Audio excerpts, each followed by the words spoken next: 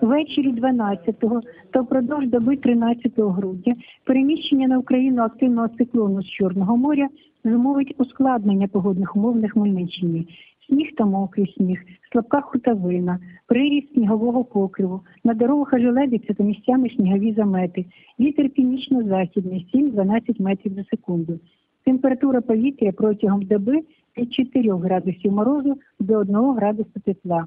14-16 грудня опади послабнуть. Температура повітря вночі поступово знизиться до 3-8 градусів морозу, денна суттєво не зміниться.